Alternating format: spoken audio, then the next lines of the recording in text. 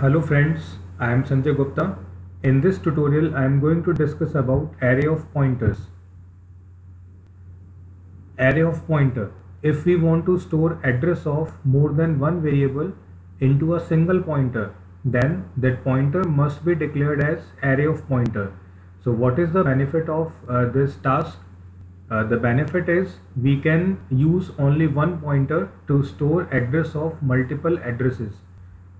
So we can understand this concept with the help of this example. Uh, in this example, we have total three variables A, B and C. Suppose uh, this is first block A, its address is 101. Then we have second block named B, its address is 201 Third, we have block C. Its address is 301. Then we have declared a pointer which is known as array of pointer.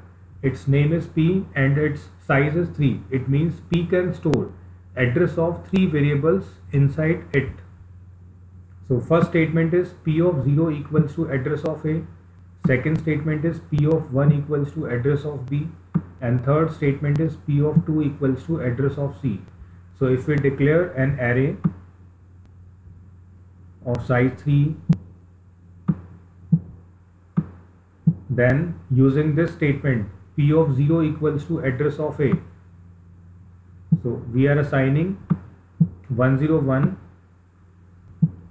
under the index number 0 and this complete location is known as P.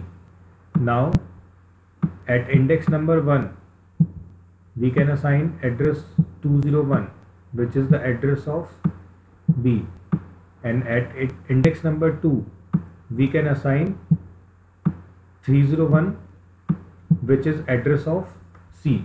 So we can easily say that if we want to assign address of different different locations inside a single pointer then that pointer can be con converted into array of pointers. Thank you.